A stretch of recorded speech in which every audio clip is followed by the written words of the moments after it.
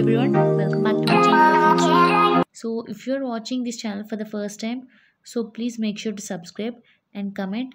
And if you want any information about anything, so please make sure to ask. And this is a video about the classification of the system.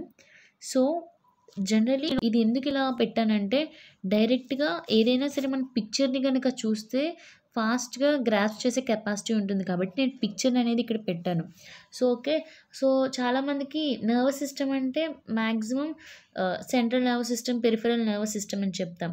కానీ ఇది డివిజన్కి వచ్చేటప్పటికి maximum కూడా ఏం చేస్తారంటే motor అంటే efferent అని లేదంటే ఎఫరెంట్ అని కన్ఫ్యూజన్ అనేది ఎక్కువ స్టార్ట్ అవుతుంది. సో అలాంటి ఏ కన్ఫ్యూజన్ లేకుండా దీన్ని కంప్లీట్గా మనం కొన్ని న్యూమోనిక్స్ పెట్టుకుని ఆర్ ఎల్స్ కొంచెం ఈజీగా మోడిఫై చేసుకుని గుర్తుపెట్టుకుందాం ఓకే? సో ఇది కంప్లీట్ ఇన్ఫర్మేషన్ అనేది ఈ పిక్చర్లోనే మనకి ఎగ్జాక్ట్గా తెలుస్తుంది ఓకే? చూడండి ఫస్ట్ మన నర్వస్ సిస్టమ్ అనేది టూ టైప్స్ కింద డివైడ్ అయింది like central nervous system and ఇంకోటిది peripheral nervous system. So ఇక్కడ పిక్చర్ చూస్తే బ్రెయిన్ స్పైనల్ కార్డ్ రెండు కూడా సెంట్రల్ అంటే మెయిన్ ఈ నర్వస్ సిస్టమ్కి మెయిన్ అన్నమాట. సో ఇవన్నీ సెంట్రల్ నర్వస్ సిస్టమ్కి వచ్చాయి. అండ్ వీటి నుంచి సబ్గ సబ్ డివిజన్ అయిన ప్రతివి కూడా పెరిఫెరల్ నర్వస్ సిస్టమ్. పెరిఫెరల్ అంటే complete to the body surface అనమాట ఓకే? చూడండి. ఇక్కడ నర్వ్స్ కింద డివైడ్ అయ్యాయి కదా. అవన్నీ కంప్లీట్గా మన పెరిఫెరల్ అనమాట ఓకే? సో దాన్ని పిఎన్ఎస్ అంటాము. సో ఇప్పుడు సాంపుల్ మనకి స్టిమ్యులస్ అని తెలుసు అండ్ రెస్పాన్స్ అని తెలుసు. ఓకే? సో స్టిమ్యులస్ అంటే ఏంటి? ఇప్పుడు మనల్ని ఏదైనా మస్కిటో బైట్ చేస్తే సో అది స్టిమ్యులస్. సో దానికి మనం తిరిగి ఏం రెస్పాన్స్ చూపిస్తాం? దాన్ని కిల్ చేయడం అనేది ఒక రెస్పాన్స్ చూపిస్తాం. Yes or no so first central central nervous system మనల్ని ఏదైనా ఇది చెయ్యి అది చెయ్యి అని మనకు వచ్చిన స్టిమ్యులైకి రెస్పాండ్ అవుతుందంటే అది mainly because of motor motor nerves వల్ల. అంటే motor efferent ME okay ME which stands for motor efferent division అనమాట so this division means this transports means impulses from CNS to the effector organ remember the effector organ okay effector ఆర్గాన్కి పంపిస్తుంది.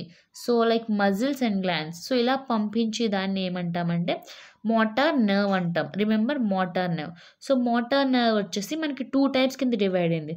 So first వచ్చేసి somatic nervous system and next వచ్చేసి autonomic nervous system so somatic అంటే voluntary అంటే మన కంట్రోల్లో ఉండి ఏదైనా చేసేదాన్ని వాలంటరీ అంటాం. సో ఆ యాక్టివిటీస్ని అన్నింటినీ కూడా సొమాటిక్ నర్వస్ సిస్టమ్ కంట్రోల్లో ఉంటుంది.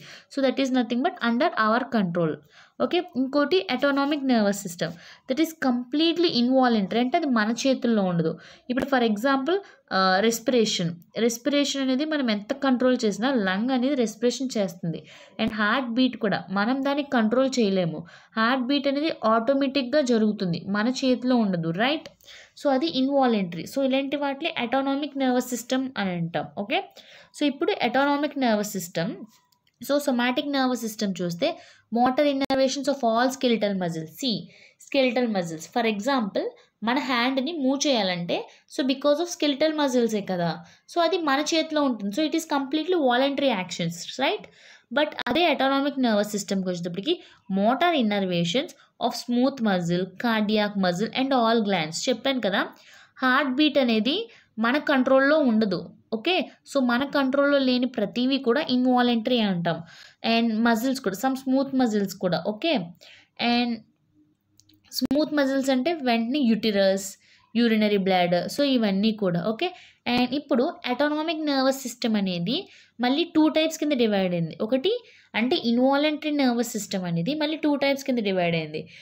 Sympathetic division and parasympathetic division so sympathetic division అంటే like mobilises body systems during emergency systems situations like ఏ కండిషన్స్లో ఎమర్జెన్సీ సిచ్యువేషన్స్లో మాత్రమే. లైక్ ఫైట్ ఆర్ ఫ్లైట్ మనం వినుంటాం. ఫైట్ కానీ ఫ్లైట్ అని కానీ సో ఎమర్జెన్సీ సిచ్యువేషన్స్ అండ్ ఇక్కడ పారాసింపథాటిక్ డివిజన్స్ అన్నాం. అంటే conserves energy this needs energy promotes non emergency functions so ఇవి ఎమర్జెన్సీ ఫంక్షన్స్ కాదు. బట్ ఇందాక సింపథాటిక్ నర్వస్ సిస్టమ్ చూస్తే అది ఎమర్జెన్సీ ఫంక్షన్స్ అనమాట but parasympathetic is not of emergency functions that is rest and digest అనమాట so it takes slowly the హ్యాప్ the activity can takes place in a progressive manner okay and here మనం మన central nervous system నుంచి మన ఆర్గాన్స్కి ఈ activity చేయాలని మనం చెప్పేదాన్ని లైక్ మోటార్ నర్వ్ చెప్తుందంట. మరి అదే మనం ఏదైనా యాక్టివిటీ చేయాలని చెప్పి మన ఎఫెక్టర్ ఆర్గాన్ మన ఎఫెక్టర్ ఆర్గాన్ ఇప్పుడు ఫర్ ఎగ్జాంపుల్ హాట్గా ఏదైనా వెజల్ని టచ్ చేసినప్పుడు అది టచ్ అయిందని మన బ్రెయిన్కి చెప్పేది ఎవరు? సెన్సరీ అనమాట అది సెన్స్ చేసి అది మన బ్రెయిన్కి చెప్తుంది. ఓకే ఈ ఆబ్జెక్ట్ అనేది హాట్గా ఉంది అని. సో అప్పుడు ఏం చెప్తుంది మన brain? So let take you hand from that hot object అని చెప్తుంది. ఓకే? సో ఇవన్నీ కూడా మిల్లీ సెకండ్స్లో జరుగుతాయి కదా? సో ఇవి. సో ఇలా చెప్పేది ఏంటి సెన్సరీ. సెన్సరీ అంటే SA. Remember SA. Afferent node అనమాట అంటే మన హ్యాండ్ నుంచి బ్రెయిన్కి పంపించే నర్వ్ వచ్చేసి సెన్సరీ నర్వ్ అనమాట సో కంటైన్స్ ఇక్కడ రిసెప్టార్స్ ఉంటాయి. సో చాలాసార్లు చెప్పాం. రిసెప్టర్స్ అనేవి ఉంటాయి. ఇన్సులిన్లో కూడా చెప్పాం. Beta cells of islets of longer హ్యాండ్స్కి సర్ఫేస్ మీద రిసెప్టర్స్ ఉంటాయి. లైక్ గ్లూకోజ్ రిసెప్టర్స్ ఉంటాయి. సో ఎప్పుడైతే గ్లూకోజ్ వస్తుందో అది దాన్ని గ్రాస్ చేసి వెంటనే ఇన్సులిన్ ప్రొడ్యూస్ చేస్తుందని చెప్పాం. రిసెప్టర్స్ ఆర్ నథింగ్ బట్ దేనికైనా వెంటనే యాక్టివిటీ లైక్ సెన్స్ చేయడానికి యూజ్ చేసే ఛానల్స్ని రిసెప్టర్స్ అని అంటాం. So transmit impulses from receptors to the CNS so same మన మన సర్ఫేస్ మీద ఉన్న మన బాడీ సర్ఫేస్ మీద ఉన్న రిసెప్టర్స్ అనేవి మన సిఎన్ఎస్కి ఇన్ఫర్మేషన్ ఇస్తాయి. Okay and like somatic sensory చూద్దాం. Like receives information from remember this is just receive sensory information from skin fascia, joints, skeletal muscle, sight hearing sight hearing smell taste and balance so ఇవన్నీ కూడా చెప్పేది somatic sensory అనమాట like senses వచ్చేటప్పటికి sight hearing smell taste and balance చెప్పాము. Like internal ఎన్విరాన్మెంటస్కి ఉండే receptors ఏం receptors అంటే లైక్ ఎగ్జాంపుల్స్ రిమెంబర్ ఉండే రిసెప్టర్స్ వచ్చేసి like autonomic control like chemoreceptors baroreceptors osmoreceptors అనమాట ఓకే మన బ్రెయిన్ నుంచి సో కన్క్లూజన్ వచ్చేసి మన బ్రెయిన్ నుంచి బాడీకి పంపించే ఇన్ఫర్మేషన్ అంతా కూడా సెన్ మోటార్ రెఫరెంట్ డివిజన్స్లో ఉంటుంది. బట్ అదే మన బాడీ నుంచి అంటే మన ఎఫెక్టర్ ఆర్గాన్ నుంచి బ్రెయిన్కి పంపించే ప్రతి ఇన్ఫర్మేషన్ సెన్సరీ లేదంటే afferent a SA afferent division వల్ల అయినా జరుగుతుంది. ఓకే సో ఇక్కడ సెన్సరీ వచ్చేసి కొన్ని రిసెప్టర్స్ వల్ల జరుగుతుంది. Like baroreceptors chemoreceptors and osmoreceptors please make sure to subscribe